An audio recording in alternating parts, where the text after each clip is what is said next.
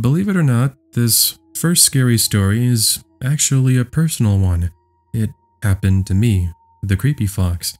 I actually sent this over to Joelle last year. That's uh, Let's Read for those of you who don't know. Uh, for those of you who didn't watch that video, well, here's that scary story to start off today's stories. Enjoy, and also make sure to subscribe if you are brand new.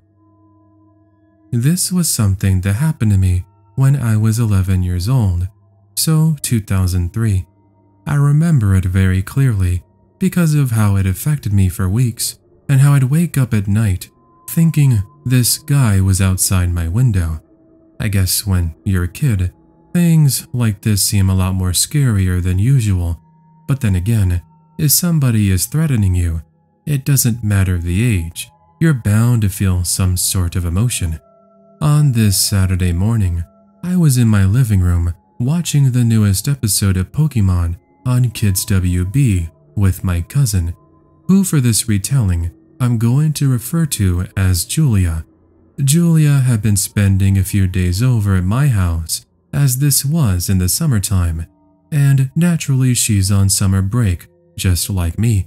Taking care of us this morning was my grandmother, who had moved in with us just a few years earlier in 1999. As for my sister, my mom, and my dad, I remember clearly that morning that they had gone to the mall to take my sister shopping, along with one of her neighbor friends. We're halfway through the episode, enjoying our bowl of Cocoa Pebbles and laughing at the shenanigans that Ash, Pikachu, and company are getting themselves into when the house phone started to ring. Now, as a kid, I never answered the phone as that was usually left to either my mom or my dad, but as they're not home, who was going to answer? Now, my grandma could have answered, but she didn't speak English very well. Spanish was her main language. So after the phone did its normal ringing routine, it stopped and rang again. I figured, what the heck, let's just see who it was. As I got up and I made a short five second walk over to the little table the phone was placed on to answer. Hello, good morning, I answered in my kind, respectful tone. Hey, open the door. I'm outside, a voice whispered to me. I took a few seconds to look over at my cousin and I asked her if she heard anyone outside on the front porch. We do have a window that lets you see outside, however, it doesn't give you a great view of the front door. That's why she responds back to me and says she didn't see anyone. So I remove my hand from the phone, which I did so the person on the other end couldn't hear me, and I responded back by saying they might have the wrong number. It turned out that stating this was going to lead to quite the interesting, scratch that, threatening conversation. I want the drugs. Open the door this guy states, continuing in their whispering tone, but now mixed with some anger. Clearly, this guy has the wrong number. Well, I immediately hung up, only for the phone to ring 10 seconds later. I know I shouldn't have answered, but I did just for the heck of it again. Now, bear in mind that this isn't all verbatim and it's not word for word, but it is very close to what I remember him saying. Why did you hang up on me? Don't you care about your patients? At this moment, I started to get a feeling that I might be dealing with someone who might have been off their medication. After all, I remember the mentioning of drugs, medication, and them being a patient. My cousin can see the fright on my face, and she tells me I should just hang up. My grandma at this point has no idea what's going on since we are speaking in English, and she is in her room knitting a blanket, not really much to grab her attention. Again, I should have just hung up at this point, but I for whatever reason decided to try and calm this person down. I don't know, I guess I was just trying to be a good kid. Hey, you got the wrong number. And besides, I'm a kid. I think you need to check your phone number. I won't ever forget what he told me immediately after this, even as I write this out and I narrate it back to you all. it still gives me a bit of chills. I'm going to kill you. Just you wait. I'm going to break in through the window. I freeze at that moment. My cousin, who is standing next to me, listening in on the conversation, takes the phone away from me, then hangs it up before I began to shake uncontrollably. I mean, let's face it, it's not every day that some crazy man threatens to kill you over the phone, especially when you're in the middle of watching Pokemon. Now, just as I mentioned a few seconds ago, I wasn't sure if this guy knew that he was talking to a kid. After all, kinda weird for an adult to state those things. But after I snapped out of it, we grabbed the phone again and dialed 911. My main concern became that this was a real thing, and this crazy lunatic was really outside our house.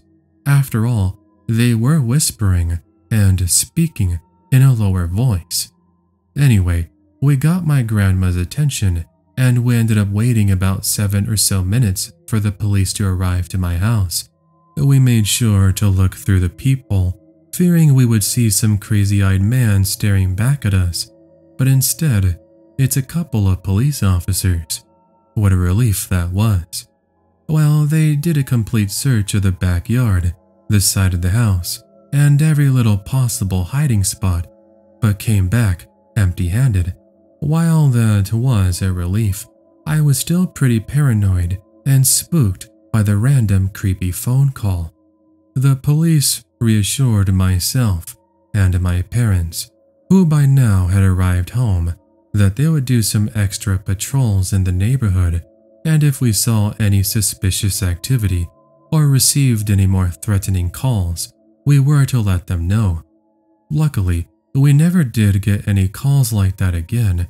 However, something interesting happened about a month later back at school.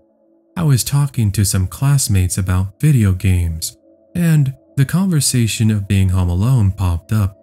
I told my classmates about the strange call I had received, and one of them says that they had a similar experience. Same thing of a random stranger calling about prescription drugs, and how if they didn't open the door, they would come in and kill them. This classmate, whose dad was in the garage working on his car, immediately went out to the front yard with his shotgun, only to find that there was nobody there. The cops were called, and nothing.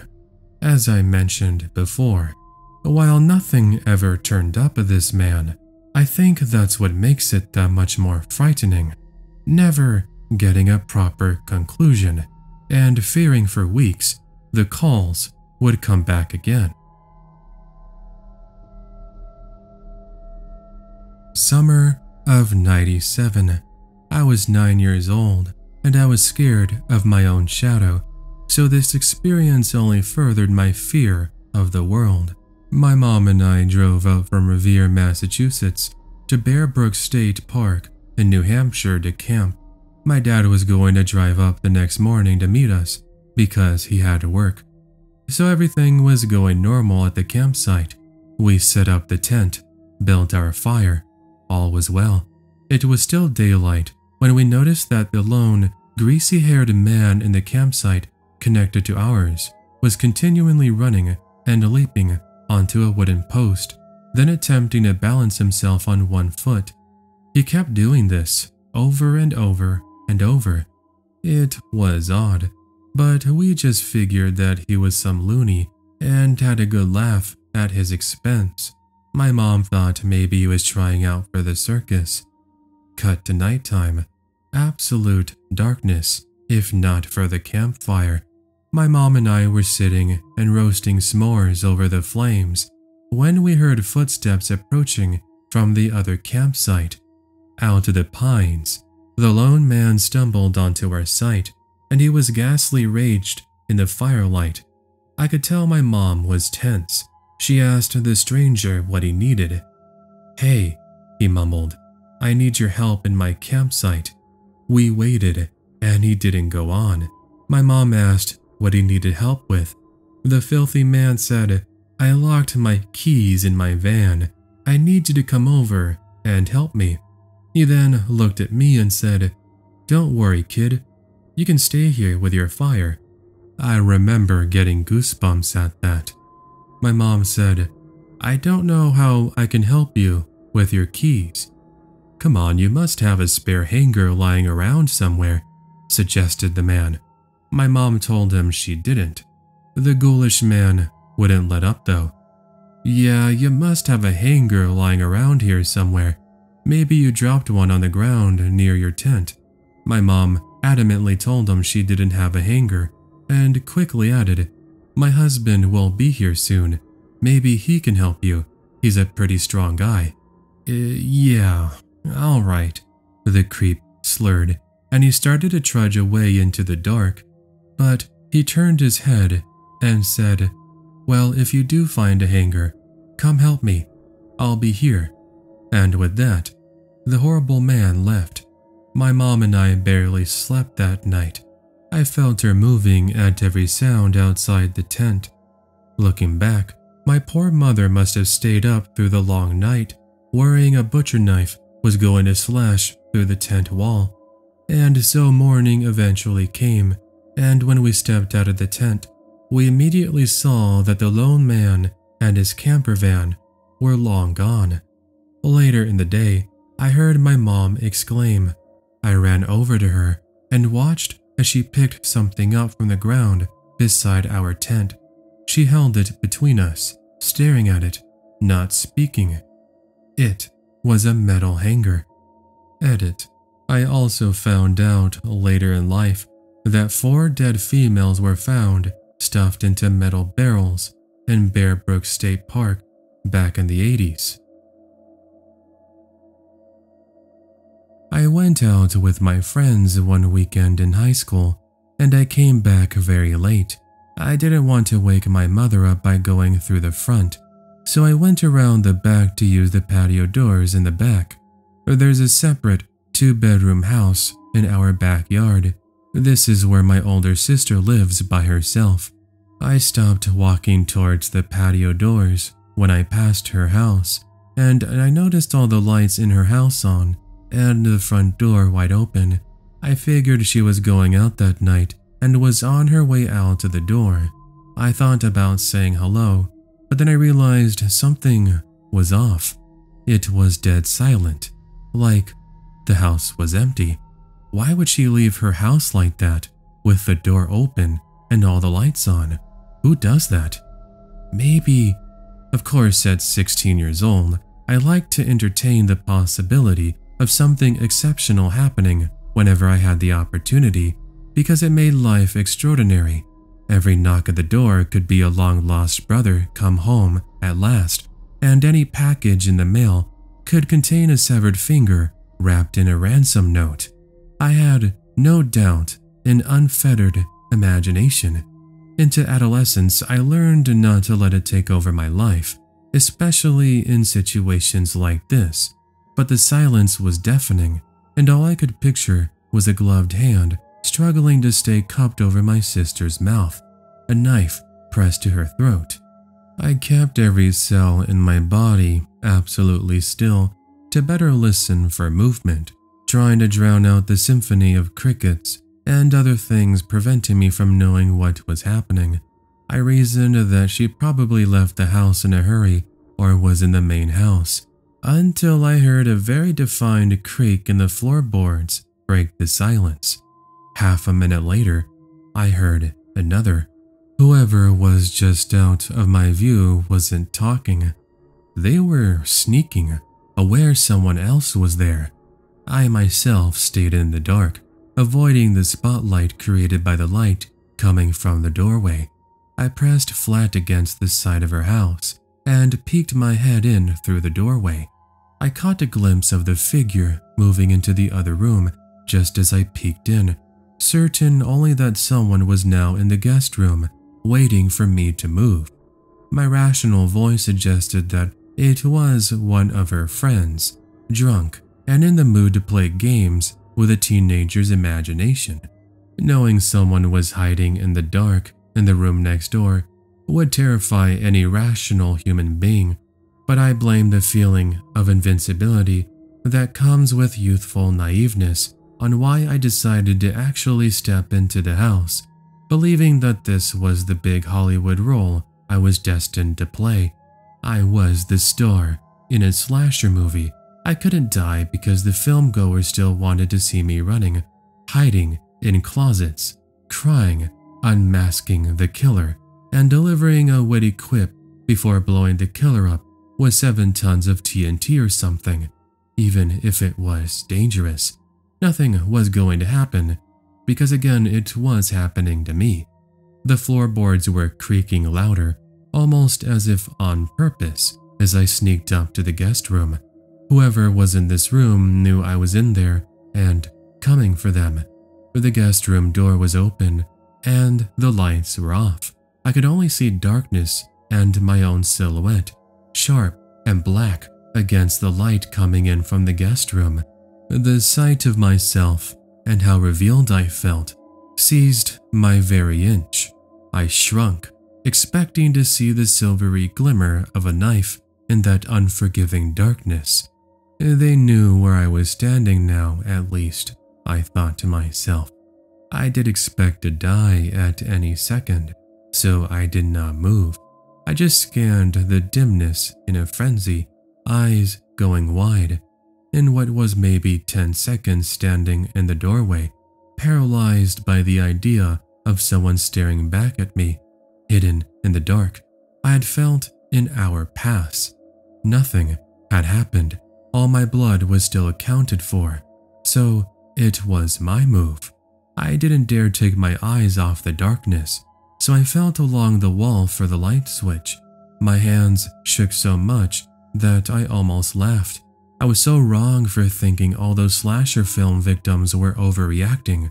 You really do panic in the face of death, and you lose control of what you do. I had never felt so immersed in the unknown. Anyway, I found the switch and flipped.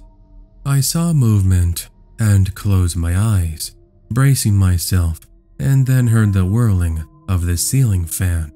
The second I processed that it was the fan moving, I felt like the child that runs to his parents' room about seeing something under the bed. The situation was almost too soon, something I could handle.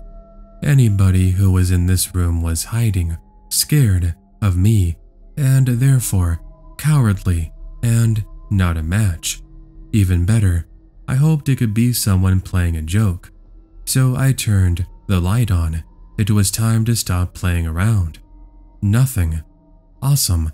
What the hell is wrong with me? I thought. But then I felt my knees go weak, thinking about the shutter closet. It was immediately to my left, and the shutter door was open, so I couldn't see in it from the doorway. Anyway, I took two steps forward, head turned. I see feet. He sees some part of my body, at least. There is another man in this room with me, and we are about to make eye contact, I thought. I didn't stop to think about how dangerous a person wearing sandals could actually be. My demand for closure prohibited it. His eyes were wide and watery from trying to see in the dark, just like mine. Like a mirror image. We both jumped and scanned each other's appearance, relaxing that the other was at the very least a person. His arms were flat next to his sides, head tilted back, seized in fear like I was. I assumed he wasn't a burglar, at least he certainly wasn't dressed as one. He had on swimming trunks and a tank top, a towel around his neck, and flip-flops, which is why I probably stuck around thinking it was my sister's friend or something. What are you doing here? I asked. It took him a second. Nothing, man. I was dying of thirst, so I just came in here to get some water, he said like a child caught in the dead of night with his hand in the cookie jar. For some reason, but probably just to stall, I asked the same question again, and he repeated the same answer. I looked down at his hands. His fingers were black, the way car mechanics do after handling grease all day. I looked back up at him and just mouthed, No, no, flight. Here it was. I wanted it so bad. Here it was. my own little horror film, running with no form as fast as I could for my life. I expected to get shot in the back at any moment, so I made it out of my sister's house and to the back door of the main house. I turned while running to see him. He was right behind me, and I just hoped he was just going to book it and turn left because he was so close to me that he definitely would have caught me. Mom, there's a burglar in the house, I yelled as soon as I could get the patio door open. She came out screaming, the dogs barking behind her, adding to the chaos. I turned and locked the patio door. She then grabbed the phone. We looked out the front window as low as we could and saw him kneeling at the corner of the house, hiding and waiting to see what we'd do. He grew impatient, hopped our fence, and got into a little white sedan and left. The cops came an hour later, thinking that the burglar had already left by the time we had made the phone call. Of course, this gave the police plenty of time to get there because deranged criminals that hide in closets would never think to come back to take care of eyewitnesses, right? Monday afternoon, after I'd come home from school, my mom tells me, I want you to watch the news at 6 today. I think they caught the guy you ran into. 6 p.m. rolls around, and the top story is about a man who had gone on a crime spree over the weekend that ended in tragedy. I sat square in the middle of the sofa, cradling my head, hands over mouth, bouncing my knee wildly, waiting to see his face. This man went into a random family's house, just like mine, and stole a car at knife point. The family called 911 after he left. The cops spotted him on the road and tried to pull him over. He fled and in pursuit, crashed into another vehicle, killing the driver and putting the passenger, her child, in critical condition. Police say Rodney D. I stopped listening. It was him. They showed his mugshot during the report, and I felt that dropping sensation in my stomach. It was him. I couldn't mistake it. This was the terrified intruder I found standing in my sister's closet, hiding two feet away from me less than 48 hours ago. To this day, I still wonder if the cops had showed up promptly, would the woman he killed the day after still be alive? It's not a jab at how well the police did their work, but amusing about the crucial nature of communication skills and how neglecting them can put another's life in great danger. Fearful burglar. Let's not meet. By the way, he got 30 years. For context, this is from the perspective of a male. I was 13 years old when this happened, and it stands as one of the more freakier incidents of my life. Back in 2001, during spring break, my family and I decided to go to Tijuana to visit my aunt and cousins for a couple of days. While the experience didn't take place in Mexico, it does take place the night before we got there, in the city of San Diego, California. The reason we had stopped in San Diego instead of just continuing on another hour and a half deep into southern Tijuana, it was because my dad who had been driving, since my mom doesn't know how to drive, was completely exhausted and wanted to get some rest. I couldn't really blame him since we had been driving all day from Northern California and his back had to have been killing him. So after stopping to get some dinner at a Burger King, because who doesn't love their chicken nuggies and french fries drenched in barbecue sauce, we checked into a Motel 6 at roughly 8 p.m. and we soon are relaxing in our own room. My mom and dad ended up falling asleep almost instantly, but I myself stayed up a bit longer, playing Pokemon on my Game Boy Color. At about 11 p.m., I was starting to get a craving for some snacks, so I crawled out to the comfort of my bed quietly tiptoed over to the small closet that we left our stuff in, and I looked into my dad's bag of treats. I noticed all that was left were Fritos. I'm not really a big fan of Fritos, even today, so after almost deciding to just get some and deal with it, I remembered that just across the street there was a 7 Eleven. Normally, my parents wouldn't have allowed me to have gone over there on my own, and while I was going to wake one of them up, I knew for a fact they were going to say no. Well, alrighty then, what were my options? I could just ignore my cravings and be a good kid, or I could be a rebellious one and grab a few dollars from my dad's wallet, quietly sneak out, and walk over to the 7 Eleven and be back way before they notice I'm gone. So the plan was set. I slipped into my tennis shoes, put on my sweater, opened the door ever so slowly, taking advantage of both my parents being heavy sleepers, and I'm now making my way over to get my food. Two minutes later, I'm in the 7 Eleven being welcomed by the employee at the cash register. I said hello and then make my way over to the aisle of chips, where I opted to get some Cheetos and then some Twinkies in the neighboring aisle. With those secured, I made my way toward the back where all the sodas are located so I could grab myself a Pepsi. And at this moment, I happen to turn to my right and I look out the window. Standing there, just staring at me with this very strange expression across his face, was what I guessed to be a homeless man. I recall his disheveled appearance as his eyes continued to follow every one of my movements.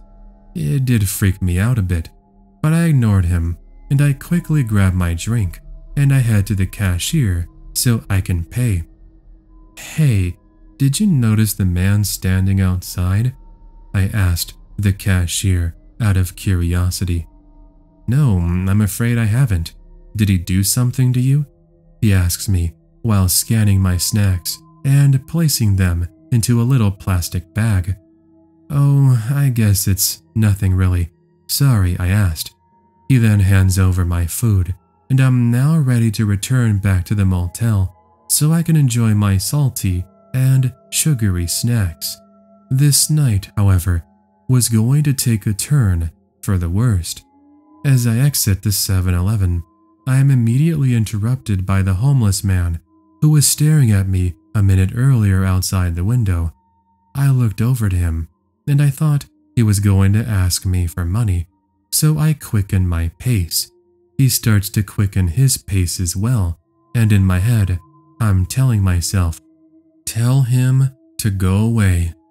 I do utter those words, and when I turn back around to look at him again, all the hairs stand up on the back of my neck. He's now got a pocket knife, and he's telling me to hand over any money or valuables I have on me. Too bad for him, all I had was the bag of Cheetos, Twinkies, and the Pepsi.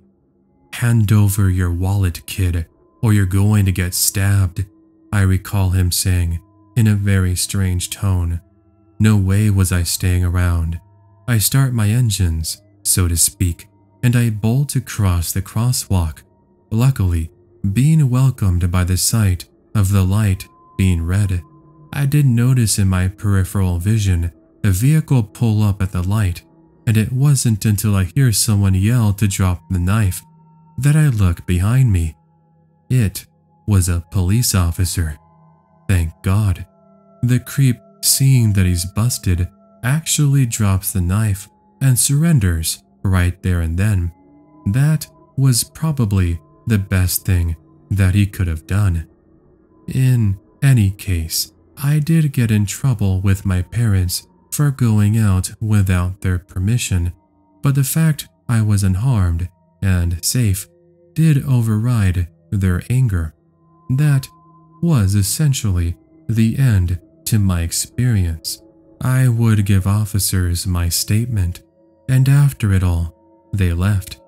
The next day, we made it to my aunt's house, but admittedly, I was pretty exhausted and still a bit traumatized. Anyway, that was the story of the time I got chased by a knife wielding man.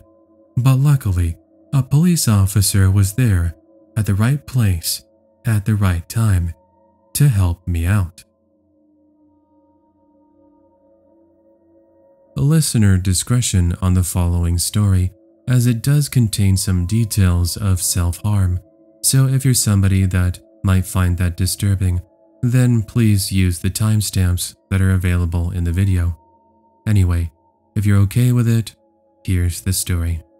I'm hoping that this is okay here. It was a really creepy thing to me, and it is something I've had a hard time getting over. About a decade ago, I was a sophomore in high school, and we had a big 9 to 10 day long trip to Europe. We could take it if we took a foreign language class. I signed up the year before, and I worked to pay for it myself, and it was a really big deal to me because I'd spent a whole summer paying for it, etc.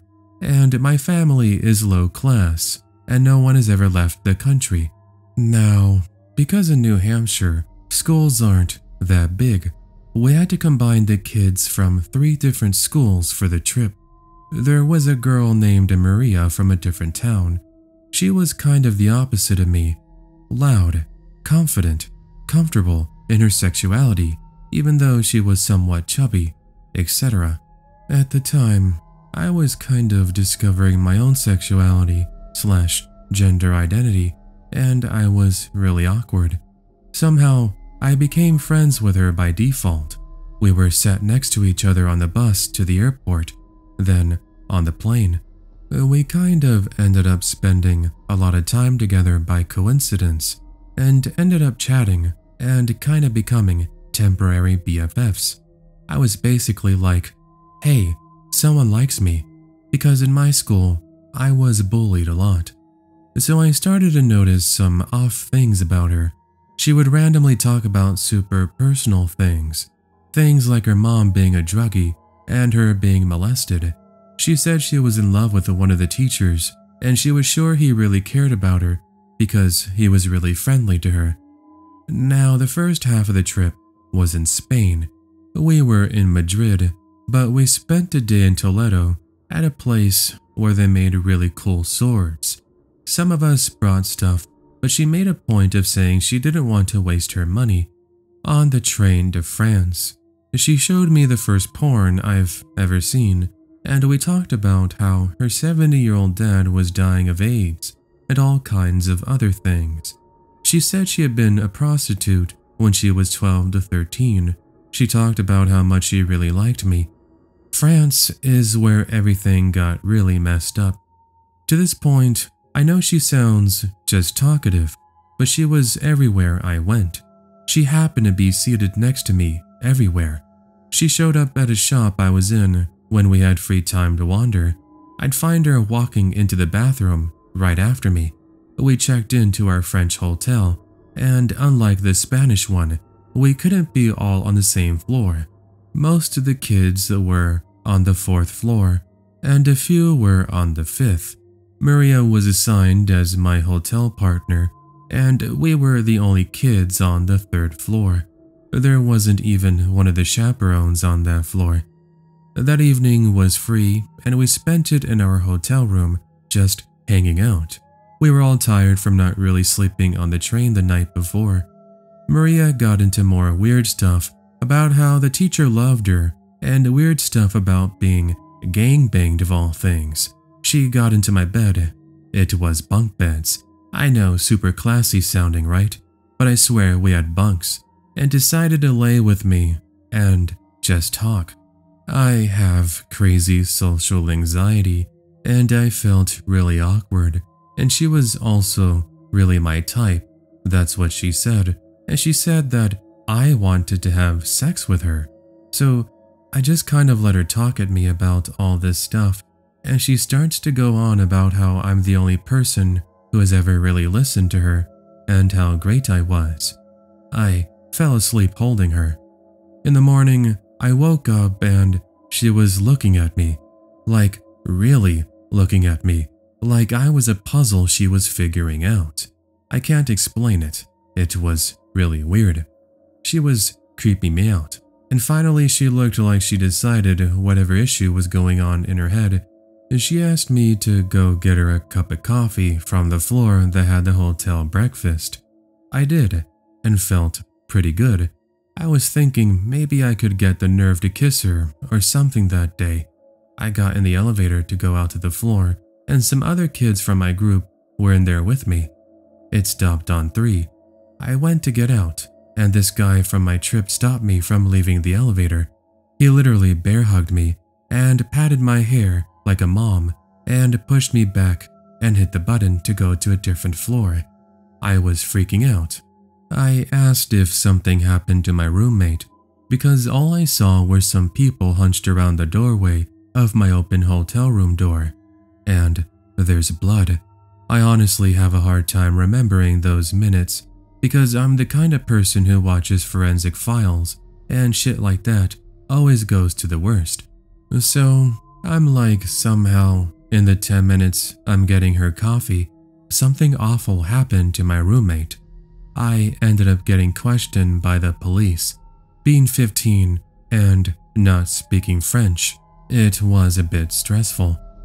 At first, my roommate claimed that all night there were loud bangs and stuff in the hall, and that when I went to go get her coffee, I didn't close the door completely, and some foreign guys came in, went through our stuff, and attacked her.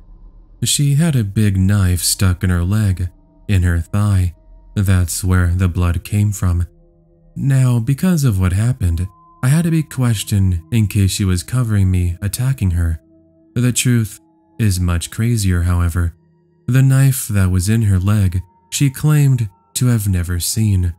The thing is, it was from the same sword place we went to in Toledo, in a completely different country. Does it make sense that someone would follow from Spain to France to stab a 16 year old? After a day of questions and crying as well, the teacher brought me to Maria in the hospital. Before I went in, he asked me, looking straight into my eyes, Did she ever say anything to you to suggest she would hurt herself? She had gone on about being a cutter, etc., and I just told him everything. I went into the room and she was crying and so happy to see me. She insisted the whole time that her story was true. Later that day, we got the video from the hotel hallway. No one broke into our room. The teacher felt awkward from her crying, and he asked if I wanted to talk to her alone. He left the room. Maria held me really close, crying. She said I was the nicest person she had ever met, and she said she decided it would be easier to stab herself. Now, I wish I could share the intonation of this sentence. When she said herself, it was clear her original intention was to stab someone else, that someone else being the sleeping person in her hotel room. She had planned this from early in the trip, in Spain, or possibly before the trip. I don't really know. She liked me because I listened to her, and she decided to just stab herself. She said it was like she was doing me a favor, or giving me a gift. She gave me her email address and told me to message her when I got back to the United States she was getting what she wanted, and she had planned for the teacher she liked to fly home with her that evening as soon as the hospital let her go. So, crazy hotel room stabber, let's never meet again. This happened when I was a bartender about four years ago, but I think about it often and has changed the way I operate throughout life. I now refuse to go to any store alone after midnight. Now, for the story's sake, I will tell you that I was 25 and an attractive slash slender blonde at the time. On a busy Friday night, I was bartending with the bar manager, and he had been noticing that we were very low on some bar necessities after the dinner rush, such as lemons, limes, bitters, that kind of thing. So I was sent out to go to a 24 hour grocery store down the road so I could go pick up the odds and ends that would require to get us through the weekend. I picked up everything that was asked of me without trouble at the store until I got to the liquor aisle.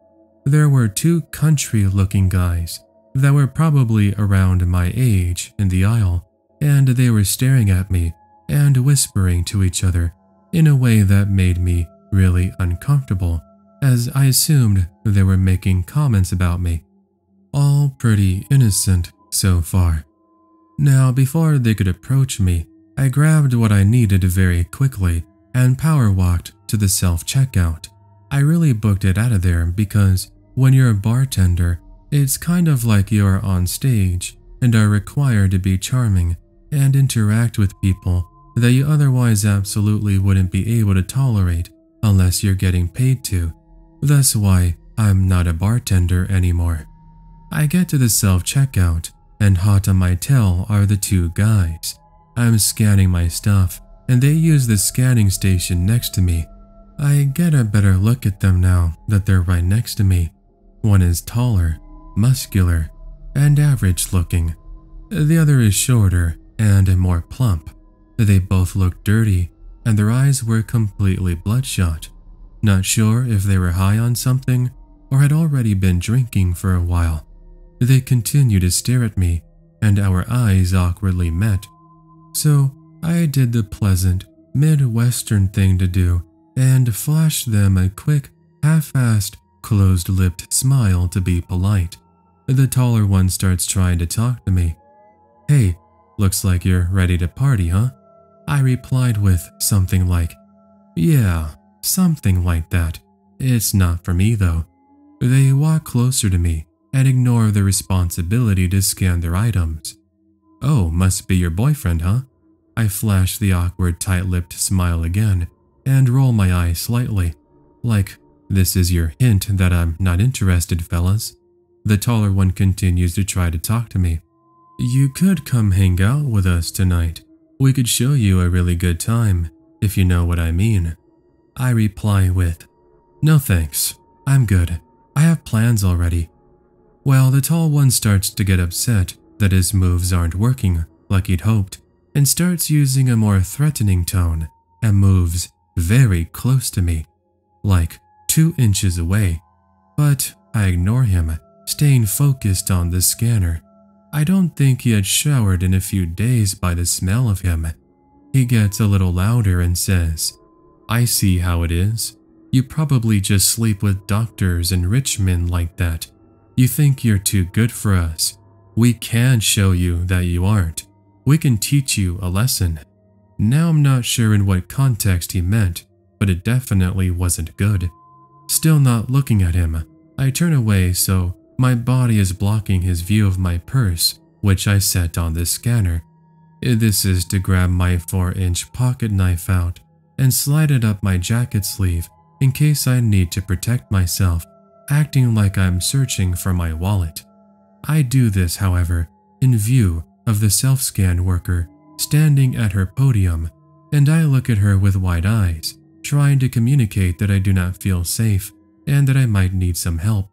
I turn back to the machine and slide my credit card to pay, while the creepy and hostile guys are practically standing on top of me.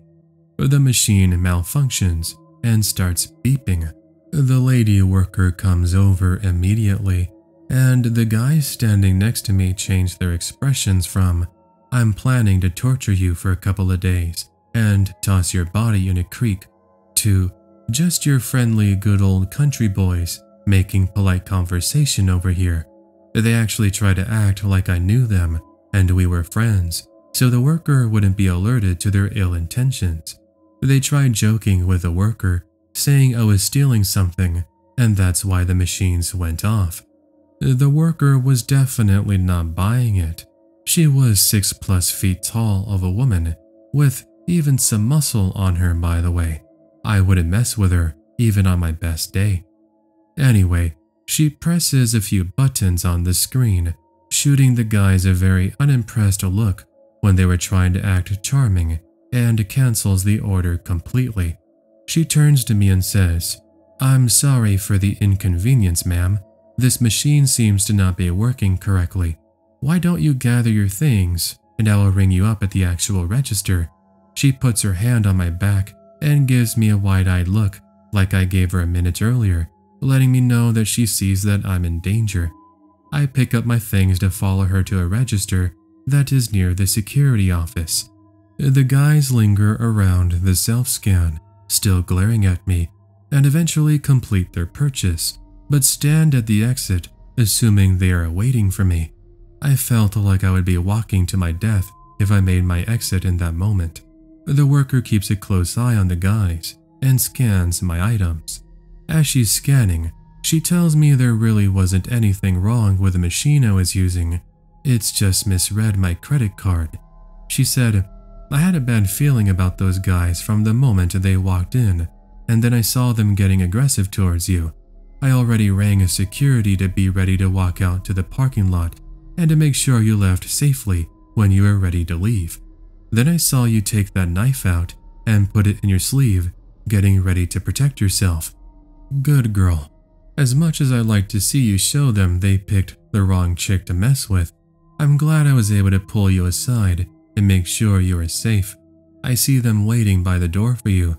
I'll just keep pressing buttons on the screen and act like I'm having trouble with the order until they give up and go outside. Our security officer and I are both still going to escort you to your vehicle when you leave. I thought to myself, this woman seriously deserves a raise. I thanked her over and over again and told her what they said to me, and I was getting afraid because I don't know what these guys are capable of. As I'm talking to her, my bar manager calls me to see what's taking so long. I explain what's happening, and he was obviously very concerned and ready to come up there himself and kick some ass. A sweet sentiment indeed.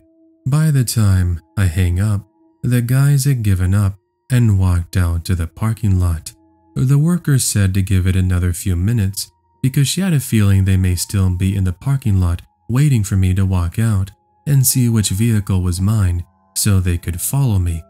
My instant thought was, no way, they have to be gone by now. I was wrong. The worker and security guard escort me out, and as if it was after midnight, you can imagine how empty the parking lot was. Towards the back of the lot, there sat an old pickup truck running with its lights on, pointed towards the store. It was a huge parking lot, and it wouldn't have made sense for them to initially park like that. So I'm assuming they moved the truck to sit that way, so they had a full view of when I exited the store to go to my vehicle. It was like being stalked by very hungry lions. When I unlocked my car, and they saw that me, the worker, and the guard were looking directly at them and that I wasn't getting in my car until we watched them leave. They then peeled out to the parking lot. I mean, they seriously did a burnout to establish that they were pissed and trying to intimidate us or something like that.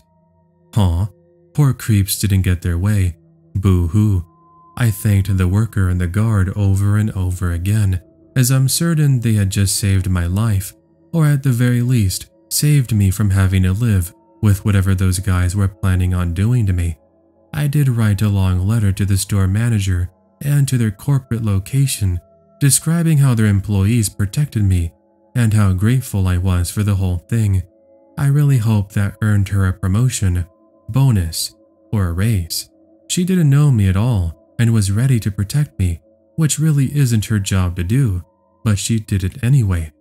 Needless to say, I do not go late night shopping by myself anymore, and I never will again. Edit. There's a few comments speculating that this experience is fake. Not sure why I'd make it up. This crap happens to women so much more than society would like to admit, or that this experience is exaggerated. My response to that is that this was years ago. As stated in the beginning, memories can often be remembered more intensely as time goes on. You don't know when something significant is happening to you until it's over or when you're reflecting back on it. Obviously, the dialogue isn't verbatim, but I can honestly say that this is 100% how I remember this happening, and I posted this only to try to help someone in the future to be more vigilant, and as a great reminder that good people do exist, just as bad ones do as well. I just hope that this story helps. Back in 2008, I was a student planning to go to university and I needed some extracurricular stuff that I could put on my entry applications. As most UK students know, one of the best to have on there is the Duke of Edinburgh Award. As part of this award, you have to embark on an orienteering expedition, basically a long trek through woodland and rural villages, following nothing but a map and a compass, no GPS allowed. It's a teamwork experience, and you camp and overcome hurdles together, etc. Anyway, I was out of shape at the time, and so my uncle volunteered to take me out to the middle of nowhere so I could get some idea of what orienteering was like. We didn't stay out overnight to like what I would have to do during the real thing. However, we hiked maybe 10 miles through the woods and a small village in pretty abysmal weather. By the end of the journey, we were soaked to the bone and pretty miserable, looking forward to getting back to the car and heading home. For the last part of the journey, we were on a dirt trail heading uphill with bushes and trees on either side. We were marching onward in silence at this point when all of a sudden there was a rustling in the foliage to our left. From behind a large bush stepped an old man in a black suit with a red bow tie and dress shoes. He looked late 70s, early 80s, very pale, liver spots dotting his face, and a gray slash white comb over. I was instantly weirded out. Who dresses like that to go into the woods? The instant thought, seeing a guy his age out there in those clothes, in those weather conditions, was, this guy has lost his marbles.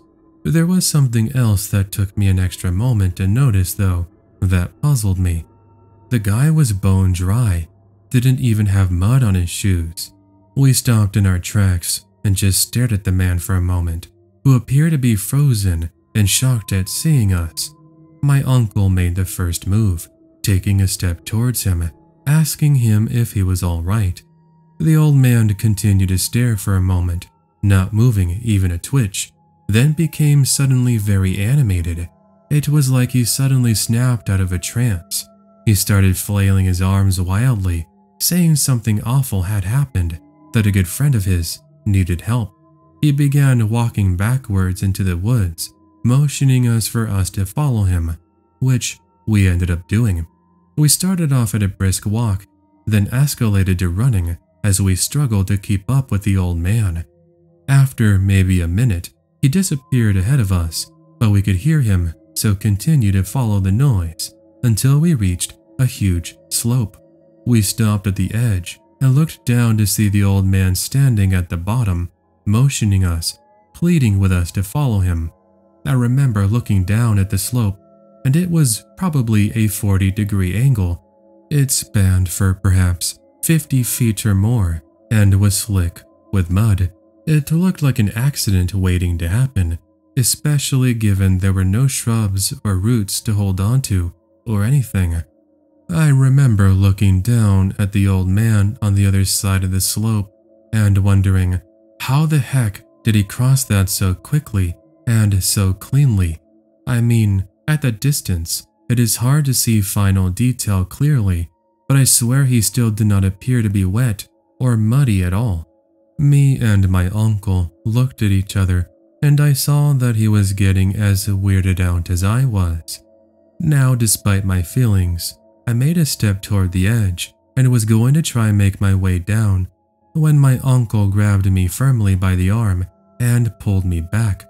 Under his breath, he said to me, Something is wrong here. We took a few steps back from the edge at this point, and the old man at the bottom started to get irritated.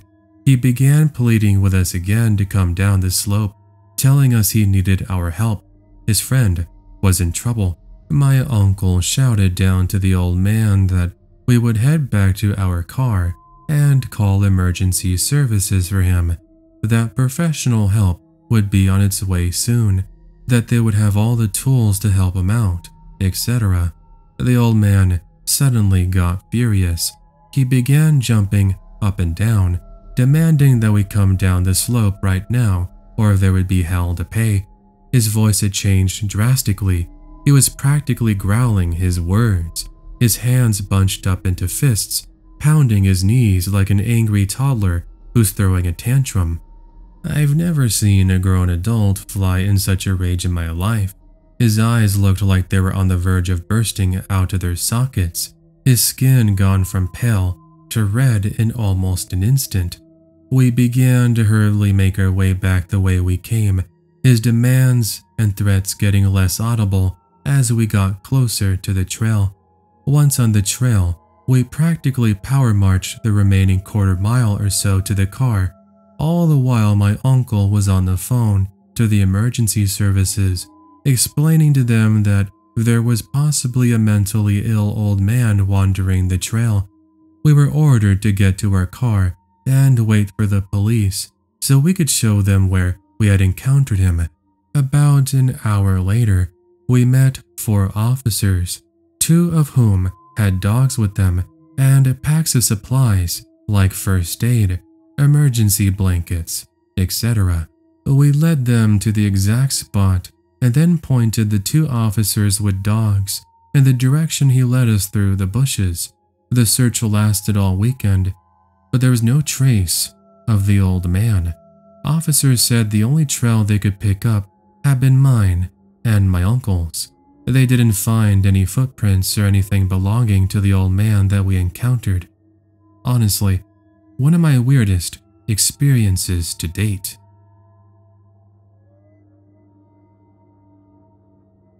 So I moved into a duplex with my ex three years ago in what we thought was a safer part of the city. One of our neighbors, Amber, works in the duplex rental office, and her husband, Ed, was at the time fresh out of prison. Later, we would see all the swastika tattoos he had, and he had been doing and continues to do landscape work for the rentals like mow the lawns, cut down trees, etc. Other than that, he is home mostly doing odds and ends things, like tinkering with his mower or truck or something. They both are super nice people, very kind and loving towards others, and always offer to help out. We have smoked weed together a few times. Ed smokes more than Amber, and have talked about all kinds of things, so I thought I could trust them and felt very safe being their neighbor.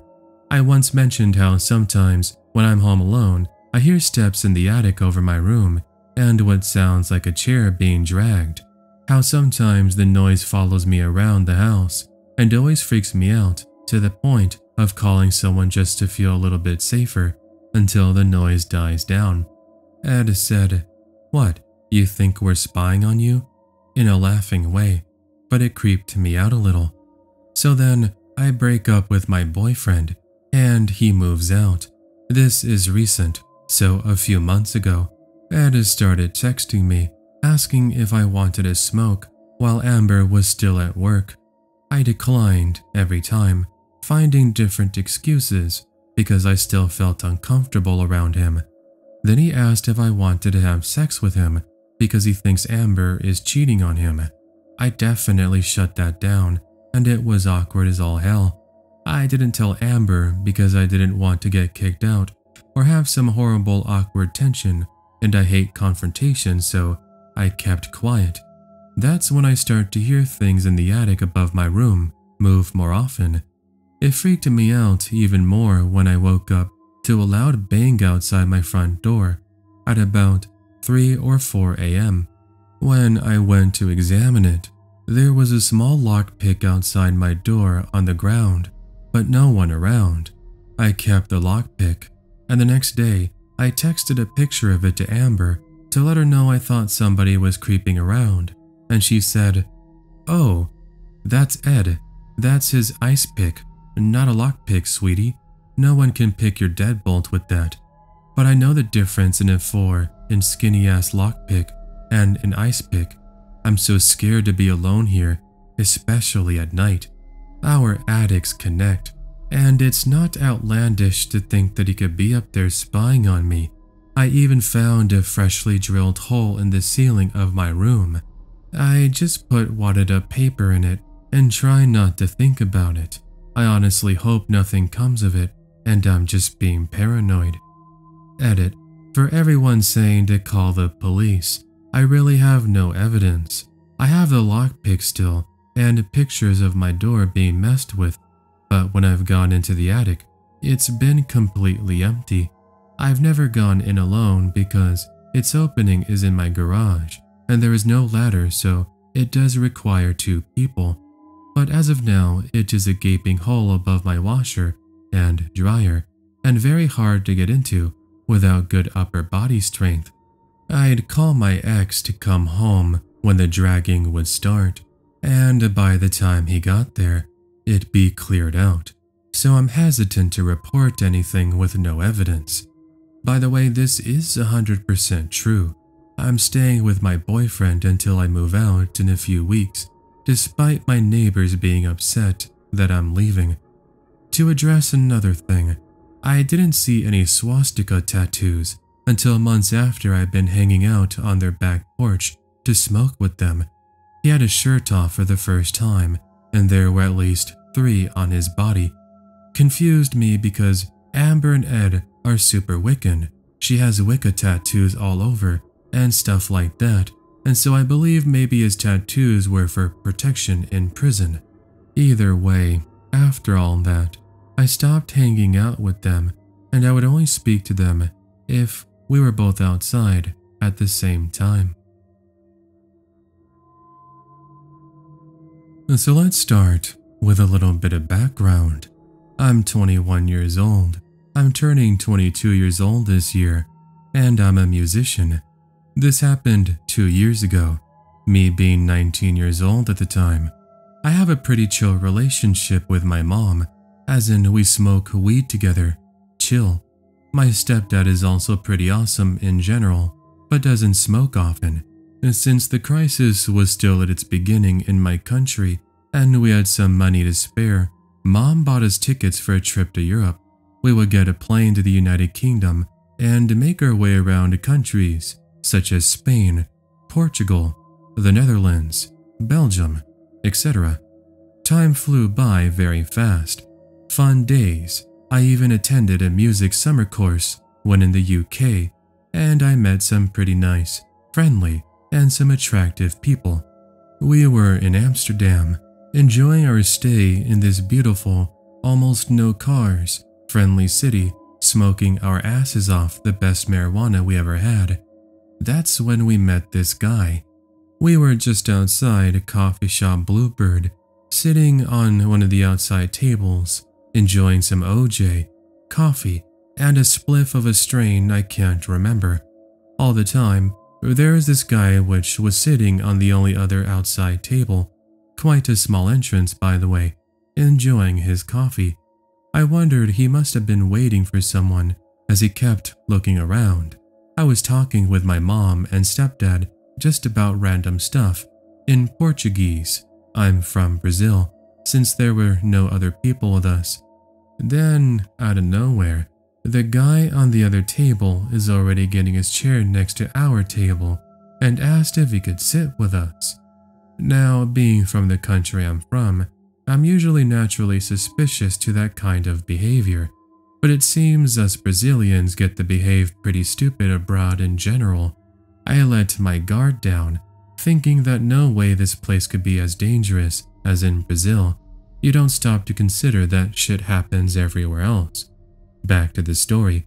We say yes to his request and start chatting. This man tells us that he's a musician, a lucky shot, or he can understand Portuguese. I don't know. Jaime bombards him with questions and doesn't notice how he swiftly avoids them by giving generic answers and quickly changing the subject, asking stuff like where we were from. how long we would be staying. You know, typical shady people kind of questions. Pap, as he introduces himself, very kindly invites us to his place to check some of his music, blah blah blah. That's when the three of us enter this state that will last until the very end of the story.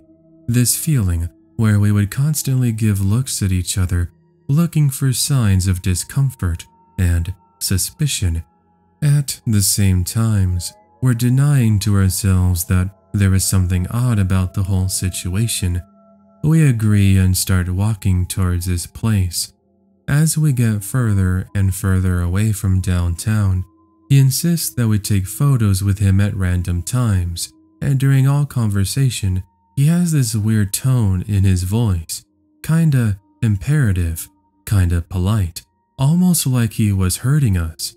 Finally, we get to his place, in a shady suburb about 25 minutes away from downtown. Through the whole journey, our suspicion was slowly getting higher and higher. Anyway, we enter his apartment, and it doesn't look like the musician apartment you would expect. Just an old radio, some random poster on the wall, not even related to music, and a center table, everything covered with a sheet of dust. He herded us one more time after failing to turn on his radio which wasn't even plugged on the wall, straight to the kitchen and sits us there, telling us that his son will be home soon and they can show us his music. Now you're probably wondering how the hell we didn't bolt the shit out of there. Answer, amnesia haze. Finally, after some five minutes, his son arrives and holy shit, the guy was big my stepdad is about 6 foot 3, and this guy was a head taller than him, and bulkier as well. Finally, our alarms reach their peak, and we telepathically agree we should get the hell out of there. We say some lame excuse, because we said we didn't have plans before, I know, and that's when Pop grabs my mom by the arm, very strongly, staring at her. She kinda shocked, stared back, in some sort of defiance. He releases her, and we managed to leave unscathed. Now, I will leave you with this thought. 1. He picked his victims at a famous place. 2. He took pictures with us. Actually, he insisted on it. 3. It seems to me he wasn't concerned about the facial evidence in our cameras, nor that any previous victims, or us, would tell the police about his little scamming spot. To this day, I wondered of all the possibilities of what would have happened. Small chance it would be something harmless. I doubt it. Everything just screamed the complete and utter opposite. Also, I never found any of his music online. So thanks for the chat, Pap. Let's not meet ever again.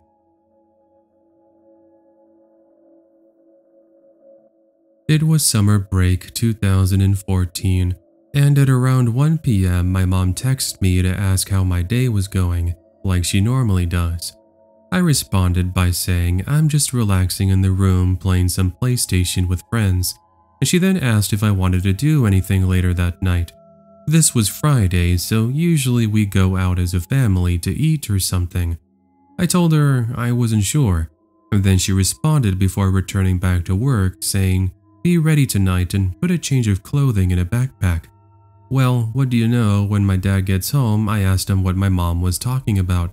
My dad told me that it was a surprise and I would find out when my mom got home. And so long story short, my mom's boss had booked us a night at the Southern California Harrah's Casino Resort.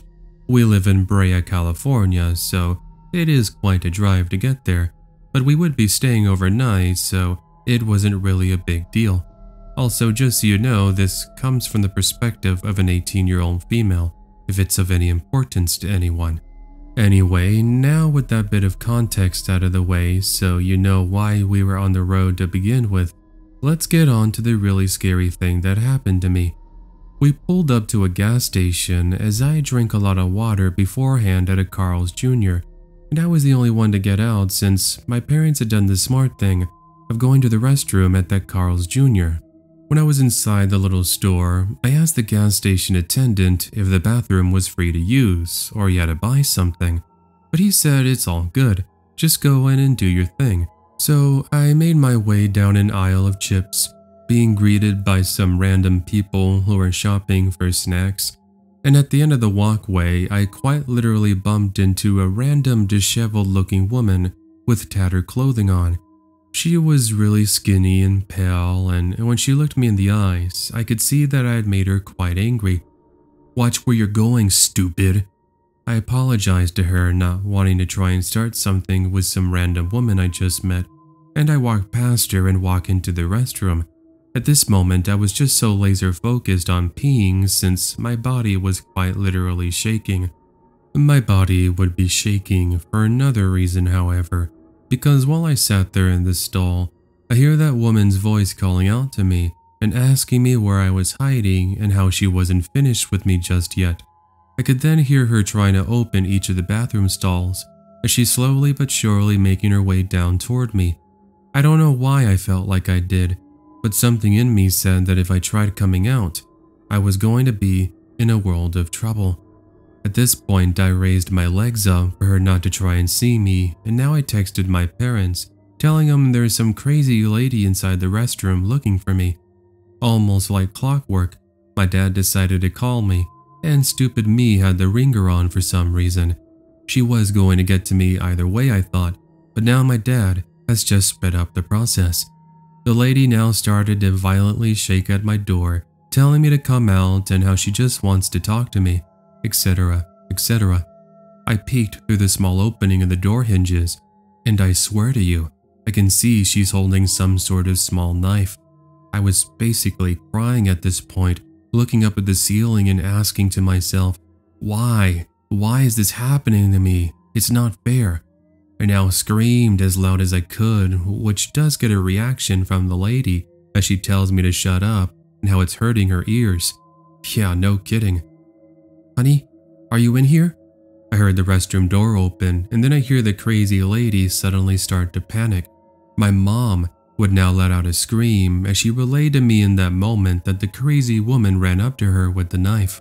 Thank God, however, that she didn't try stabbing my mother or attacking her, as she says the woman just ran past her and then out of the gas station. Finally, the whole strange encounter seemed to have been over, but I was beyond frightened. It did take me quite an effort to get out of that restroom, but after washing my hands and hugging my mom ever so tightly, she escorted me out. The man at the cash register was now on the line with the police and asked if we could stay to speak to them. I was too scared at this point, so my mom joined me in the car and had it locked as my dad waited for the police inside the store. Two police officers would arrive and they would take my statement as others went to look for the woman. I pretty much just sat there in the vehicle with the window down, my mom hugging me the whole time while I gave my statement. No less than 10 minutes later, the police officers reported that they found a woman matching my description. Well, what do you know? They would ask me to identify her, and I told them, yes, that was her. She pretty much gave me a death stare and started spewing random nonsense at me.